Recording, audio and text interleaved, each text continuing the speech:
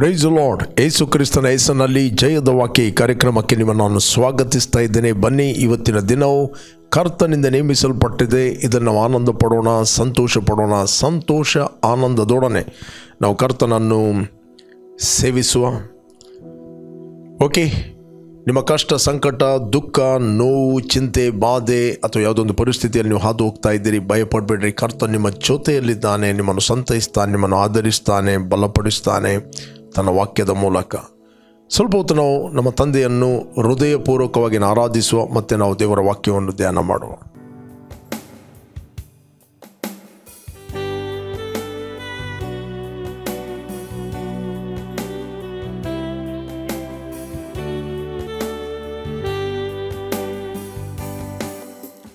यीशु मसीह तेरे जैसा है कोई नहीं। तेरे चरणों में झुके आसमां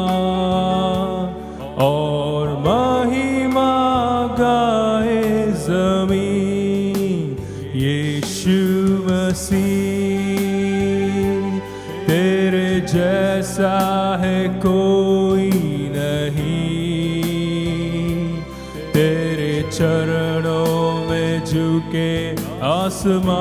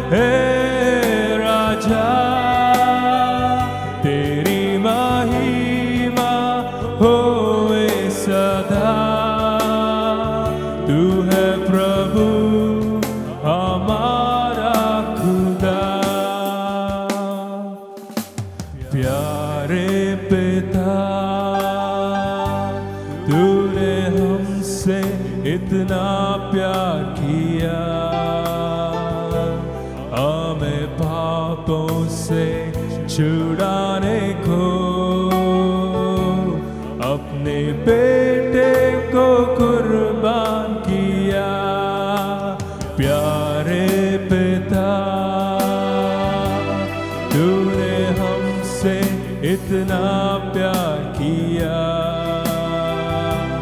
हमें पापों से छुड़ाने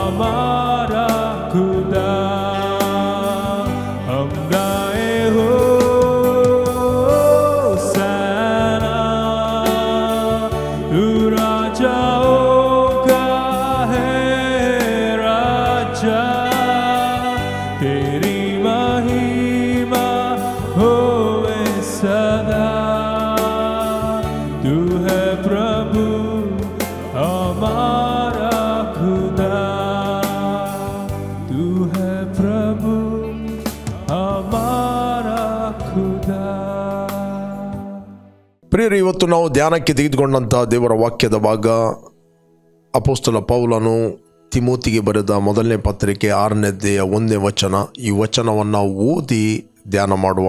ದಾಸರಾಗಿ ಮತ್ತೊಬ್ಬರ ಅಧೀನದಲ್ಲಿ ಇರುವವರು ತಮ್ಮ ಯಜಮಾನರನ್ನು ಎಲ್ಲ ಮಾನಕ್ಕೂ ಯೋಗ್ಯರೆಂದೆನಿಸಲಿ. ಇಲ್ಲದಿದ್ದರೆ ದೇವರ ನಾಮಕ್ಕೂ ನಾವು ಹೊಂದಿರುವ ಉಪದೇಶಕ್ಕೂ ನಿಂದೆ ಉಂಟಾದಿತ್ತು ಪ್ರೈಸ್ ಗಾಡ್ ಪ್ರೇರೆ ಇಲ್ಲಿ ಅಪೋಸ್ತಲ ಪೌಲ ತಿಮೋತಿಗೆ ಪ್ರೀಚ್ ಮಾಡುವಾಗ ಅಲ್ಲಿ ಒಂದು ಸಿಚುವೇಶನ್ ಅಂತ ಹೇಳಿದರೆ, ಯಜಮಾನರು ಮತ್ತು ದಾಸರು.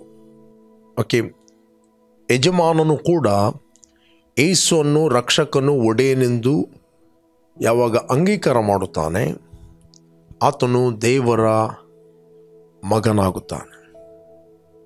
ಆತನ ದಾಸನು ಕೂಡ ಏಸೋನ್ ರಕ್ಷಕನು ಒಡೆಯನೆಂದು ಅಂಗೀಕಾರ ಮಾಡಿದಾಗ ಆತನು ಕೂಡ ದೇವರ ಮಗನಾಗ್ತಾನೆ ಸ್ಪಿರಿಚುಲಿ ಇವರಿಬ್ಬರು ನಾವು ನೋಡ್ತೇವೆ ಸಹೋದರರು. ಇವತ್ತು ಕೂಡ ಪ್ರೇರೆ ಯಾರು ಯಾರು ಯೇಸುವನ್ನು ಅಂಗೀಕಾರ ಮಾಡುತ್ತಾರೋ, ಅಂದರೆ ಆತನ ಹೆಸರನ್ನು ನಂಬಿಕೆ ಇಡ್ತಾರೋ, ದೇವರು ಅವರಿಗೆ ತನ್ನ ಮಕ್ಕಳಾಗುವ ಅಧಿಕಾರ ಕೊಟ್ಟಿದ್ದಾನೆ. ಈ ಅಧಿಕಾರ ನಮಗೆ ಸಿಕ್ಕಿದೆ. ಇವರು ರಕ್ತ ಸಂಬಂಧದಾಗಲಿ, ಕಾಮದಿಂದಾಗಲಿ, ಪುರುಷ ಸಂಕಲ್ಪದಿಂದಾಗಲಿ, ಮನುಷ್ಯನ ಇಚ್ಛೆಯಿಂದಾಗಲಿ ಹುಟ್ಟಿದವರಲ್ಲ. ಇವರು ದೇವರಿಂದ ಹುಟ್ಟಿದವರು. ಆತ್ಮಸ್ವರೂಪಿಯಾದ ದೇವರಿಗೆ, ಆತ್ಮಸ್ವರೂಪಿಯಾದ ಮಕ್ಕಳಾಗಿ ಇವರು ಹುಟ್ಟಿದ್ದಾರೆ. ಇವತ್ತು ಅವರು ಮಾತ್ರ ಅಲ್ಲ, ನಾವು ಕೂಡ ಹುಟ್ಟಿದ್ದೇವೆ. ಓಕೆ ಇಲ್ಲಿ ದೇವರ ವಾಕ್ಯ ಹೇಳ್ತದೆ, ದಾಸರಾಗಿ ಮತ್ತೊಬ್ಬರ ಅಧೀನದಲ್ಲಿರುವವರು ತಮ್ಮ ಯಜಮಾನರನ್ನು ಎಲ್ಲ ಮಾನಕ್ಕೆ ಯೋಗ್ಯರೆಂದೆನಿಸಲಿ. ಇಲ್ಲದಿದ್ದರೆ ದೇವರ ನಾಮಕ್ಕೂ ನಾವು ಹೊಂದಿರುವ ಉಪದೇಶಕ್ಕೂ ನಿಂದೆ ಉಂಟಾದೀತು. ಯಾರಿಗಾದರೂ ಕ್ರಿಸ್ತನನ್ನು ನಂಬುವರಾದ ಯಜಮಾನರಿದ್ದರೆ ಅವರು ಆ ಯಜಮಾನರನ್ನು ಸಹೋದರರೆಂದು ಉದಾಸೀನ ಮಾಡದೆ ತಮ್ಮ ಸೇವೆಯ ಫಲವನ್ನು ಹೊಂದುವರು ನಂಬುವವರಿಗೆ ಪ್ರಿಯರೂ ಆಗಿದ್ದಾರೆಂದು ತಿಳಿದು ಅವರಿಗೆ ಹೆಚ್ಚಾದ ಸಂತೋಷದಿಂದಲೇ ಸೇವೆ ಮಾಡಬೇಕು. ಈ ಉಪದೇಶವನ್ನು ಮಾಡಿ ಅವರನ್ನು ಎಚ್ಚರಿಸು ಅಂತ ಹೇಳ್ತದೆ.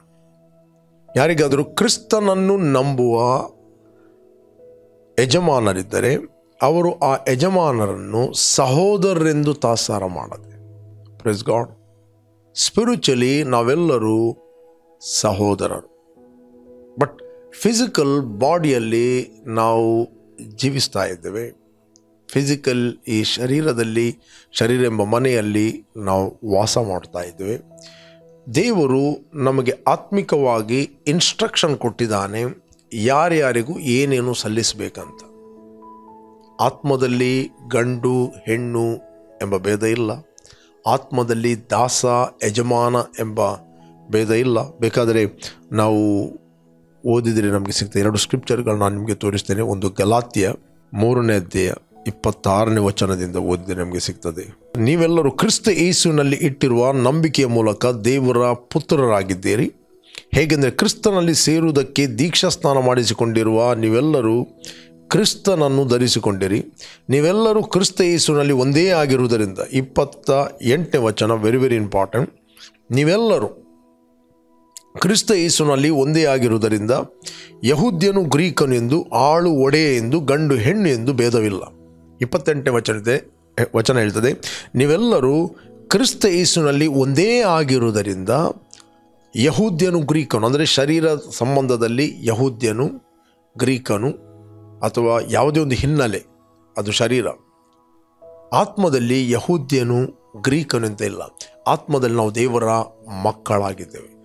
ಆತ್ಮದಲ್ಲಿ ನಾವು ದೇವರ ಪುತ್ರರಾಗಿದ್ದೇವೆ. ಆತ್ಮದಲ್ಲಿ ಗಂಡು, ಹೆಣ್ಣು ಎಂಬ ಭೇದ ಇಲ್ಲ. ನಾವೆಲ್ಲರೂ ದೇವರ ಪುತ್ರರು. ಆತ್ಮದಲ್ಲಿ ಆಳು ಮತ್ತು ಒಡೆಯ, ಯಜಮಾನ ಮತ್ತು ದಾಸ ಎಂಬ ಭೇದ ಇಲ್ಲ. ನಾವೆಲ್ಲರೂ ಕ್ರಿಸ್ತ ಏಸುವಿನಲ್ಲಿ ಒಂದೇ ಆಗಿದ್ದೇವೆ. ಪ್ರಿಸ್ ಗಾಡ್ ಬಟ್ ಈ ಲೋಕದಲ್ಲಿ ನಾವು ಡಿಸಿಪ್ಲಿನಲ್ಲಿ ಜೀವಿಸುವಂಥದ್ದು ವೆರಿ ವೆರಿ ಇಂಪಾರ್ಟೆಂಟ್ ದೇವರು ನಮ್ಮನ್ನು ಯಾವ ಪೊಸಿಷನಲ್ಲಿ, ಶರೀರದಲ್ಲಿ ಇಟ್ಟಿದ್ದಾನೋ, ನಾವು ಆತ್ಮದಲ್ಲಿ ಒಂದೇ ಆಗಿದೆ ಅಂತ ಹೇಳಿಕೊಂಡು ನಮಗೆ ಇಷ್ಟ ಬಂದ ಹಾಗೆ ನಾವು ಜೀವಿಸಲಿಕ್ಕೆ ಆಗುವುದಿಲ್ಲ. ಇಷ್ಟ ಬಂದ ಹಾಗೆ ನಮ್ಮ ಶರೀರವನ್ನು ಮಲಿನ ಮಾಡಲಿಕ್ಕೆ ಆಗುವುದಿಲ್ಲ. ಅದಕ್ಕೆ ಬೈಬಲ್ ಬೀಳುತ್ತದೆ ದಾಸತ್ವದಲ್ಲಿರುವವರೇ, ನಿಮ್ಮ ಯಜಮಾನರನ್ನು ಎಲ್ಲ ಮಾನಕ್ಕೆ ಯೋಗ್ಯರೆಂದೆನಿಸಿ ಅವರಿಗೆ ಸಂತೋಷದಿಂದ ಸೇವೆ ಮಾಡಿರಿ ಅಂತ ಬೈಬಲ್ ಹೇಳ್ತದೆ. ನಿಮ್ಮ ಯಜಮಾನರು ನೋಡುತ್ತಿರುವಾಗ ಮಾತ್ರ ನೀವು ಸೇವೆ ಮಾಡದೆ, ಅವರು ನೋಡದೆ ಇರುವ ಸಂದರ್ಭದಲ್ಲಿಯೂ ಅವರಿಗೆ ಸೇವೆ ಮಾಡಿರಿ. ನಿಮ್ಮ ಯಜಮಾನರು ನಿಮ್ಮ ಸಹೋದರರಿಂದ ಅವ್ರನ್ನ ತಾತ್ಸಾರ ಮಾಡಬೇಡ್ರಿ. ಓಕೆ? ನೀನೊಂದು ಕೆಲಸಕ್ಕೆ ಹೋಗ್ತಿ. ಅಲ್ಲಿ ನಿಮಗೆ ಸಹೋದರ ಯಜಮಾನಿದ್ದಾನೆ ಓಕೆ ನೀವು ಒಂದೇ ಸಭೆಗೆ ಬರುತ್ತೀರಿ. ಓಕೆ ಮೇ ಬಿ ಸ್ಪಿರಿಚುಲಿ ನೀನೊಬ್ಬ ಸೆಲ್ ಲೀಡರ್ ಆಗಿದ್ದಿ. ಅದೇ ನಿನ್ನ ಬಾಸ್ ಒಬ್ಬ ವಿಶ್ವಾಸಿ ಆಗಿದ್ದಾನೆ. ದ ಇಂಪಾರ್ಟೆಂಟ್ ಏನಂತ ಹೇಳಿದರೆ, ಆ ಲೀಡರ್ಶಿಪ್ಪನ್ನು ಅವನು ಹಾನರ್ ಮಾಡುವಂಥದ್ದು very very important according to the word of God ಒಂದು ವೇಳೆ ನಿನ್ನ ಕೆಲಸಕ್ಕೆ ಹೋಗುತ್ತಿರುವಾಗ ನೀನು ಸೆಲ್ ಲೀಡರ್ ಅಂತ ಹೇಳಿಕೊಂಡು ಆ ಯಜಮಾನರನ್ನು ನೀನು ತಾಸಾರ ಮಾಡಲಿಕ್ಕೆ ಆಗೋದಿಲ್ಲ. You must be a example you must be a example you must be a light ಇತರರಿಗೆ, ನೀನು ಬೆಳಕಾಗಿರಬೇಕು. ಅವನು ನಿನ್ನ ಯಜಮಾನನಾಗಿದ್ದಾನೆ, ನೀನು ಕೆಲಸದವನಾಗಿದ್ದಿ.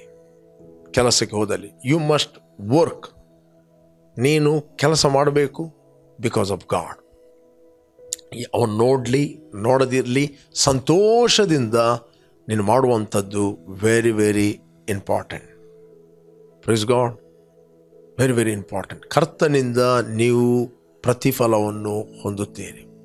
ನೀನು ಅನೇಕರಿಗೆ ಬೆಳಕಾಗುತ್ತೆ. ಇಲ್ ಬೈಬಲ್ ಹೇಳುತ್ತೆ ಇಲ್ಲ ಅಂತ ಹೇಳಿದರೆ ಕರ್ತನ ನಾಮಕ್ಕೂ ನೀವು ಹೊಂದಿದ ಉಪದೇಶಕ್ಕೂ ನಿಂದೆ ಉಂಟಾಗುತ್ತದೆ.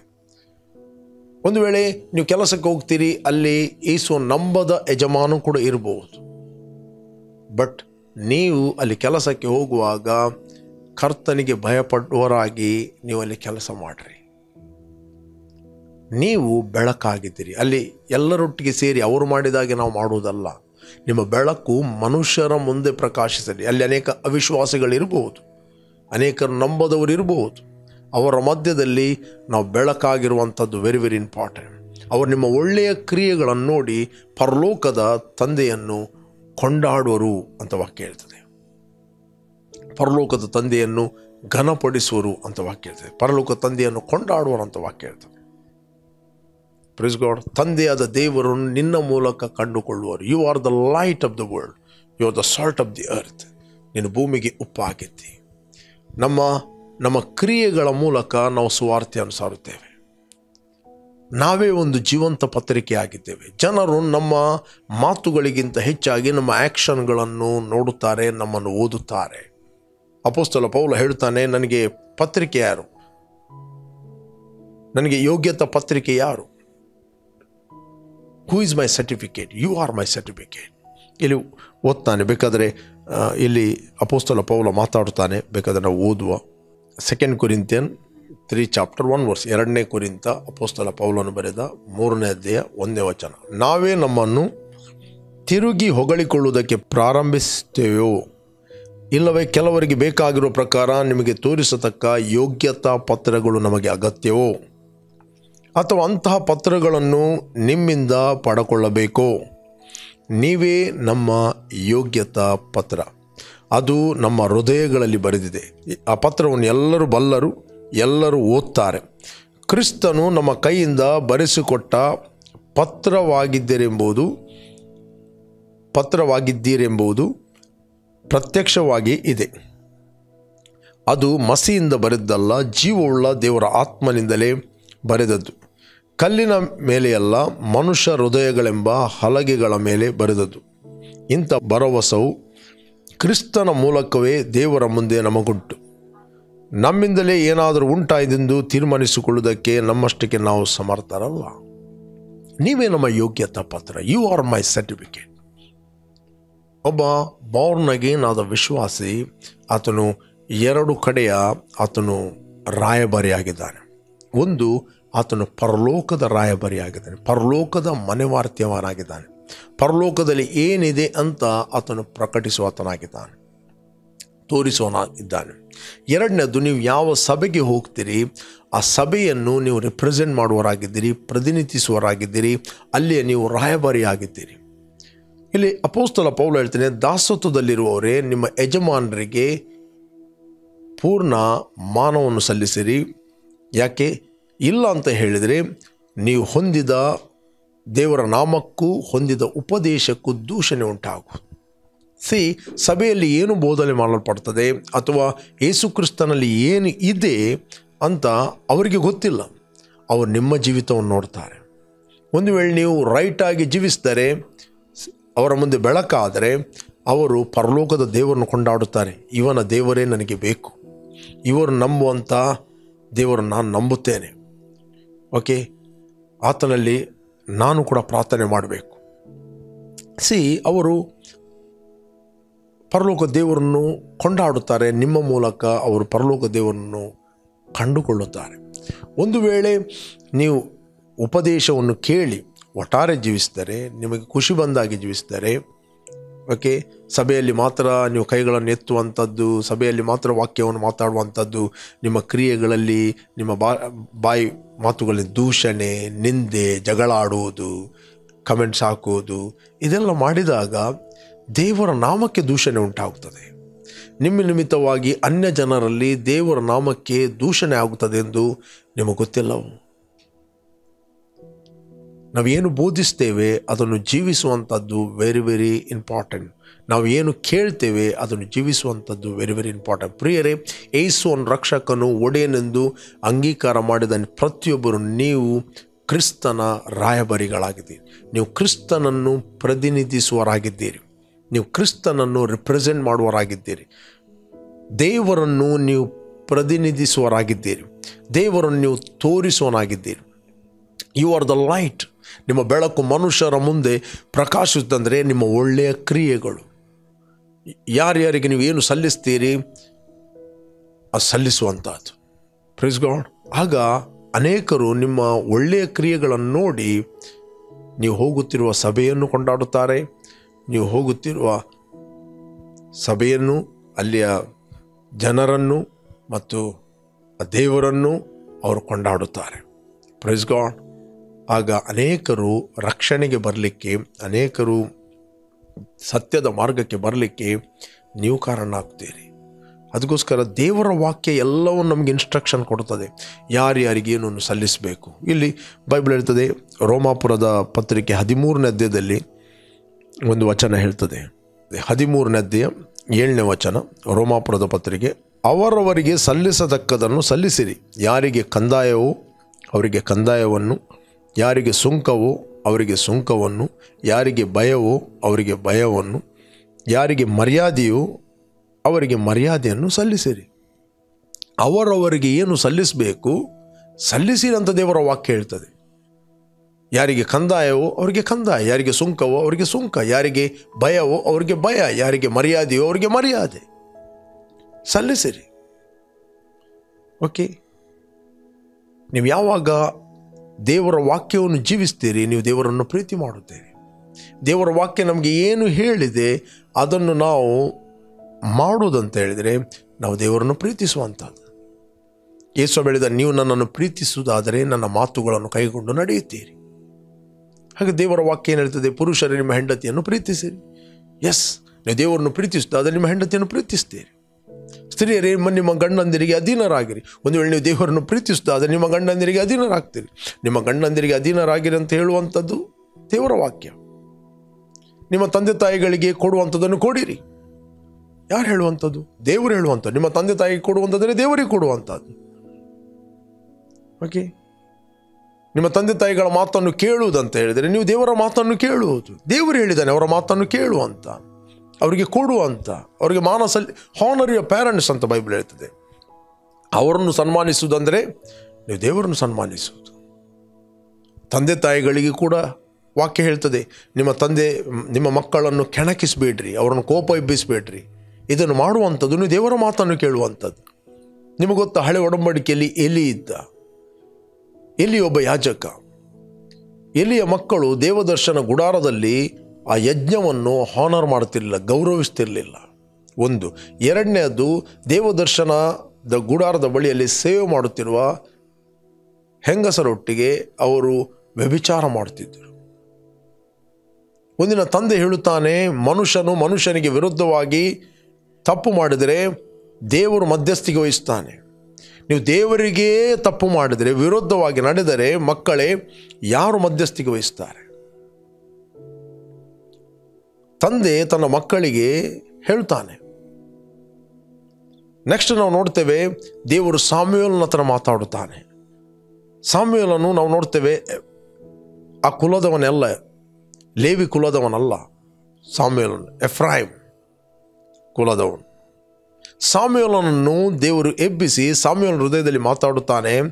ತನ್ನ ಮಕ್ಕಳು ಅವರು ದುರಾಚಾರಿಗಳೆಂದು ಗೊತ್ತಿದ್ದರೂ ಕೂಡ ಅವನು ನನ್ನನ್ನು ಗೌರವಿಸೋದಕ್ಕಿಂತ ಹೆಚ್ಚಾಗಿ ತನ್ನ ಮಕ್ಕಳನ್ನೇ ಆತನು ಗೌರವಿಸಿದ.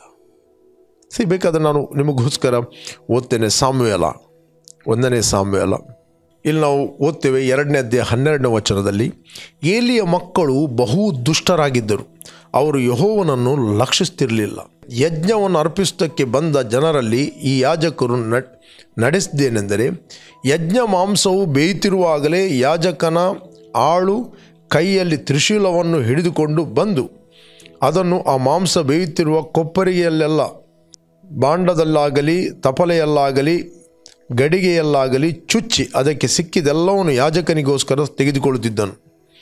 ಶಿಲೋವಿಗೆ ಬರುವ ಇಸ್ರಾಯೇಲೆಲ್ಲರಿಗೂ ಹೀಗೆ ಮಾಡುತ್ತಿದ್ದರು ಇದಲ್ಲದೆ ಯಾಜಕನ ಆಳು ಕೊಬ್ಬನ್ನು ಹೋಮ ಮಾಡುವುದಕ್ಕಿಂತ ಮುಂಚೆ ಬಂದು ಯಜ್ಞವನ್ನು ಅರ್ಪಿಸುವವನಿಗೆ ಯಾಜಕನಿಗೋಸ್ಕರ ಕರೆಯತಕ್ಕ ಮಾಂಸವನ್ನು ಕೊಡು. ನೀನು ಬೇಯಿಸಿದ ಮಾಂಸವನ್ನು ಅವನು ತೆಗೆದುಕೊಳ್ಳುವುದಿಲ್ಲ. ಅವನಿಗೆ ಹಸಿ ಮಾಂಸವೇ ಬೇಕು ಅನ್ನುವನು. ಅರ್ಪಿಸುವವನು ಮೊದಲು ಕೊಬ್ಬನ್ನು ಹೋಮ ಮಾಡಲಿ ಅನಂತರ ನಿನಗೆ ಬೇಕಾದನ್ನು ತೆಗೆದುಕೋ ಎಂದು ಹೇಳಿದಾಗ ಅವನು ಈಗಲೇ ಕೊಡಬೇಕು. ಇಲ್ಲವಾದರೆ ಬಲತ್ಕಾರದಿಂದ ತೆಗೆದುಕೊಳ್ಳುವೆನು ಅನ್ನುವನು ಹೀಗೆ ಆ ಯೌವನಸ್ಥರು ಯಹೋವನ ನೈವೇದ್ಯವನ್ನು ತುಚ್ಛೀಕರಿಸಿದ್ರಿಂದ ಅವರ ಅಪರಾಧವು ಆತನ ದೃಷ್ಟಿಯಲ್ಲಿ ಅಧಿಕವಾಯಿತು. ಓಕೆ? ನಾವು ನೋಡ್ತೇವೆ. ಮುಂದೆ ನಾವು ಓದಿ ಓದಿದರೆ ನಮಗೆ ಸಿಗ್ತದೆ. ಮೂರನೇ ಅಧ್ಯಾಯ ಹನ್ನೊಂದನೇ ವಚನ. ಇಲ್ಲಿ ದೇವರು ನಾವು ನೋಡ್ತೇವೆ ಸಾಮ್ಯುಯಲ್ನ ಹತ್ರ ಫಸ್ಟ್ ಟೈಮ್ ಮಾತಾಡುತ್ತಾನೆ. ಎಲಿಯ ಮನೆಯ ಬಗ್ಗೆ ಕೂಡ ಮಾತಾಡುತ್ತಾನೆ. ಯಹೋವನ್ನು ಸಾಮ್ಯಲ್ನಿಗೆ, ನಾನು ಇಸ್ರಾಯೇಲರಲ್ಲಿ ಒಂದು ವಿಶೇಷ ಕಾರ್ಯವನ್ನು ನಡೆಸುವೆನು. ಅದರ ವಿಷಯ ಕೇಳುವವರ ಎರಡು ಕಿವಿಗಳು ಮುರ್ರೆನ್ನೋವು. ಎಲ್ಲಿಯ ಮನೆಯನ್ನು ಕುರಿತು ತಿಳಿಸಿದೆಲ್ಲವನ್ನು ಆ ದಿನದಲ್ಲಿ ತಪ್ಪದೆ ನೆರವೇರಿಸೋನು ಹನ್ನೆರಡು ವಚನದಲ್ಲಿ ತನ್ನ ಮಕ್ಕಳು ದೇವ ದೂಷಕರೆಂದು ಅವನಿಗೆ ತಿಳಿದು ಬಂದರು. ಅವನು ಅವರನ್ನು ಗದರಿಸಲಿಲ್ಲ. ಈ ಪಾಪದ ನಿಮಿತ್ತವಾಗಿ ಅವನ ಮನೆಯನ್ನು ನಿತ್ಯ ದಂಡನೆಗೆ ಗುರಿ ಮಾಡಿದ್ದೇನೆಂದು ಅವನಿಗೆ ಮೊದಲೇ ತಿಳಿಸಿದೆನು ಎಲಿಯ ಮನೆಯವರ ಅಪರಾಧಕ್ಕೆ ಯಜ್ಞ ನೈವೇದ್ಯಗಳಿಂದಲೂ ಎಂದಿಗೂ ಪ್ರಾಯಶ್ಚಿತ್ತವಾಗುವುದಿಲ್ಲವೆಂಬುದಾಗಿ ಆಣೆ ಇಟ್ಟಿದ್ದೇನೆಂದು ಹೇಳಿದನು. ನಾವು ನೋಡ್ತೇವೆ, ತನ್ನ ಮಕ್ಕಳು ದೇವ ದೂಷಕರೆಂದು ಗೊತ್ತಿದ್ದರೂ ಆ ಮಕ್ಕಳನ್ನು ಅವನು ಗದರಿಸಲಿಲ್ಲ ಅಂತ ಹೇಳ್ತದೆ. ಪ್ರೇರೆ ನಿಮ್ಮ ಮಕ್ಕಳಿಗೆ ಕರೆಕ್ಷನ್ ಕೊಡುವುದು ಅದು ದೇವರನ್ನೇ ಹಾನರ್ ಮಾಡುವಂಥದ್ದು. ಪ್ರೆಸ್ ಗಾಡ್ ನಿಮ್ಮ ಮಕ್ಕಳನ್ನು ದೇವರು ನಿಮ್ಮ ಕೈಯಲ್ಲಿ ಕೊಟ್ಟಿದ್ದಾನೆ. ನೀವು ದೇವರ ಪರವಾಗಿ ಮಾತಾಡ್ತೀರಿ because you love the children ಅದನ್ನು ಪ್ರಿಯ, ನಾನು ನಿಮಗೆ ಎನ್ಕರೇಜ್ ಮಾಡ್ತೇನೆ ಅವರವರಿಗೆ ಸಲ್ಲಿಸತಕ್ಕದನ್ನು ಸಲ್ಲಿಸಿರಿ. ಒಂದು ವೇಳೆ ನೀವು ದಾಸತ್ವದಲ್ಲಿದ್ದೀರಿ, ನಿಮ್ಮ ಯಜಮಾನರಿಗೆ ಪೂರ್ಣ ಮಾನವನ್ನು ಸಲ್ಲಿಸಿರಿ. Don't talk negative about them ಅವರ ಬಗ್ಗೆ ನಕಾರಾತ್ಮಕವಾಗಿ ಕೆಟ್ಟದನ್ನು ಮಾತಾಡಬೇಡ್ರಿ. ಪ್ರೇ ಫಾರ್ ದೆಮ್ ಅವ್ರು ನೋಡಲಿ, ನೋಡೋದೇ ಇರಲಿ. ಅವರಿಗೆ ನೀವು ಮಾನವನ್ನು ಸಲ್ಲಿಸಿರಿ, ಅವರಿಗೆ ಸೇವೆಯನ್ನು ಸಲ್ಲಿಸಿರಿ. ಇದರಿಂದ ದೇವರಿಂದ ನಿಮಗೆ ಪ್ರತಿಫಲ ದೊರಕುತ್ತದೆ. ಒಂದು ವೇಳೆ ನೀವು ಎಲ್ಲಿ ಕೆಲಸ ಮಾಡ್ತಾ ಇದ್ದೀರಿ, ನೀವು ಹೋಗುವಂಥ ಸಭೆಯನ್ನು, ಪರಲೋಕವನ್ನು ನೀವು ರಿಪ್ರೆಸೆಂಟ್ ಮಾಡುವರಾಗಿದ್ದೀರಿ ನಿಮ್ಮ ಕ್ರಿಯೆಗಳ ಮೂಲಕ. ಪ್ರಿಯರೇ, ಯಾರು ನೀವು ಫಸ್ಟ್ ಟೈಮ್ ವೀಕ್ಷಿಸ್ತಾ ಇದ್ದೀರಿ ಇಷ್ಟವರೆಗೆ ನೀವು ಯೇಸುವನ್ನು ರಕ್ಷಕನ ಒಡೆಯನ್ನು ಅಂಗೀಕಾರ ಮಾಡಿದ್ರೆ this the right time call Jesus in your heart ನಾನು ನಿಮಗೋಸ್ಕರ ಪ್ರಾರ್ಥನೆ ಮಾಡ್ತೇನೆ. Let's pray thank you father thank you Lord ತಂದೆ ಭೂಮಿ ಆಕಾಶಗಳನ್ನು ಉಂಟು ಮಾಡಿದ ಸರ್ವಶಕ್ತನಾದ ತಂದೆಯಾಗಿದ್ದಿ ನೀನು. ಯೇಸುವೆ, ನೀನು ಸುರಿಸಿದ ರಕ್ತದ ಮೂಲಕ ನಮ್ಮ ಅಪರಾಧಗಳು ಪರಿಹಾರವಾಗಿ ನಮಗೆ ಬಿಡುಗಡೆ ಆಯಿತು. ತಂದೆ, ನಿನ್ನ ಮಗನನ್ನು ನಮ್ಮ ಪಾಪ ವಿಮ್, ವಿಮೋಚನೆಗೋಸ್ಕರ ನೀನು ಕೊಟ್ಟಿದ್ದಿ. ನಾವು ಮರಣದಿಂದ ಪಾರಾಗಿ ಜೀವಕ್ಕೆ ಸೇರಿದ್ದೇವೆ. ಮತ್ತು ಯೇಸುವೆ ಕರ್ತನೆಂದು ನಮ್ಮ ಬಾಯಲ್ಲಿ ಅರಿಕೆ ಮಾಡುತ್ತೇವೆ. ತಂದೆ, ಇವತ್ತು ನಾವು ಕ್ರಿಸ್ತನಲ್ಲಿನ ಮಕ್ಕಳಾಗಿದ್ದೇವೆ. ಇವತ್ತು ಮಾತಾಡಿದ್ದಿ ಯಾರ್ಯಾರಿಗೆ ಏನೇನು ಸಲ್ಲಿಸಬೇಕು ಅವರಿಗೆ ಸಲ್ಲಿಸಬೇಕು.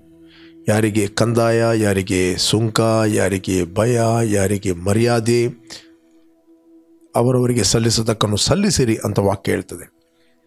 ದಾಸತ್ವದಲ್ಲಿದ್ದವರೇ, ನಿಮ್ಮ ಯಜಮಾನರನ್ನು ಪೂರ್ಣ ಗೌರವದಿಂದ ಅವನು ಸನ್ಮಾನಿಸಬೇಕಂತ ವಾಕ್ಯ ಹೇಳ್ತದೆ. ಇಲ್ಲಾದ ಇಲ್ಲ ಅಂತ ಹೇಳಿದರೆ, ನೀವು ಹೊಂದಿದ ಉಪದೇಶಕ್ಕೂ, ದೇವರ ನಾಮಕ್ಕೂ ದೂಷಣೆ ಅಂತ ತಂದೆ, ಯಾವಾಗಲೂ ನಮ್ಮ ಮೂಲಕ ನಿನಗೆ ಮಹಿಮೆ ಉಂಟಾಗಲಿ. ನಿನ್ನ ನಾಮಕ್ಕೆ ನಮ್ಮ ವರ್ತನೆಯ ಮೂಲಕ ಎಲ್ಲಿ ಕೂಡ ದೂಷಣೆ ಆಗದಂತೆ. ನಿನ್ನ ಆತ್ಮನ ಮೂಲಕ ನಮ್ಮ ನಡೆಸಬೇಕಾಗಿ ನಾವು ಪ್ರಾರ್ಥಿಸ್ತಾ ಇದ್ವಿ. ಎಲ್ಲರೂ ಕಂಫರ್ಟ್ ಆಗಲಿ, ಸಂತೈಸಲ್ಪಡಲಿ. ಏಸು ನಾಮದಲ್ಲಿ ತಂದೆ. ಎ ಮ್ಯಾನ್ ಪ್ರೈಸ್ ಗಾಡ್ ಯಾರು ನೀವು ಬರ್ತ್ಡೇ ಮತ್ತು ವೆಡ್ಡಿಂಗ್ ಆ್ಯನಿವರ್ಸರಿಯನ್ನು ಸೆಲೆಬ್ರೇಟ್ ಮಾಡ್ತಾ ಇದ್ದೀರಿ, ನಿಮಗೋಸ್ಕರ ನಾವು ಪ್ರಾರ್ಥನೆ ಮಾಡ್ತೇವೆ. Blessed happy birthday and blessed happy wedding anniversary ತಂದೆ, ಯಾರು ಇವತ್ತು ಬರ್ತ್ಡೇ ಮತ್ತು ವೆಡ್ಡಿಂಗ್ ಆ್ಯನಿವರ್ಸರಿಯನ್ನು ಸೆಲೆಬ್ರೇಟ್ ಮಾಡ್ತಾ ಇದ್ದರು, ಅವರಿಗೋಸ್ಕರ ನಾವು ಪ್ರಾರ್ಥನೆ ಮಾಡ್ತೇವೆ. ಇವರು ಫ್ರೂಟ್ಫುಲ್ ಆಗಲಿ ಬ್ಲೆಸ್ ಆಗಲಿ ಕೆಡುಕನ ಕೈಯಿಂದ ಇವರನ್ನು ತಪ್ಪಿಸಿ ಕಾಪಾಡು. ನಿನ್ನ ಅಭಿಷೇಕ ಹಸ್ತವು ನಿರಂತರವಾಗಿ ಇವರ ಮೇಲೆ ಇರಲಿ. ಏಸು ನಾಮದಲ್ಲಿ ತಂದೆ ಏ ಮ್ಯಾನ್ ಜಯದ ವಾಕ್ಯ ಕಾರ್ಯಕ್ರಮವನ್ನು ಪ್ರತಿದಿನ ಬೆಳಿಗ್ಗೆ ಬಿಗ್ ಜೆ ಟಿ ವಿಯಲ್ಲಿ ಏಳು ಗಂಟೆಯಿಂದ ಏಳು ಮೂವತ್ತಕ್ಕೆ ನೀವು ವೀಕ್ಷಿಸಿರಿ. ಏಳು ಮೂವತ್ತರಿಂದ ಎಂಟು ಗಂಟೆ ಇದೇ ಕಾರ್ಯಕ್ರಮವನ್ನು ರಿಪೀಟ್ ಆಗಿ ನಮ್ಮ ಯೂಟ್ಯೂಬ್ ಚಾನಲ್ ವೀಕ್ಷಿಸ್ಬೋದು ನಮ್ಮ YouTube channel word victory church Udupi pastor Roshan Lobo ಸಂಜೆ ಏಳು ಇಪ್ಪತ್ತರಿಂದ ಎಂಟು ಗಂಟೆ ತನಕ ಫೇಸ್ಬುಕ್ ಮತ್ತು ಯೂಟ್ಯೂಬಲ್ಲಿ ನಾನು ಮಾತಾಡ್ತಾ ಇದ್ದೇನೆ. ಬನ್ನಿ ನನ್ನೊಟ್ಟಿಗೆ ಜಾಯಿನ್ ಆಗಿರಿ.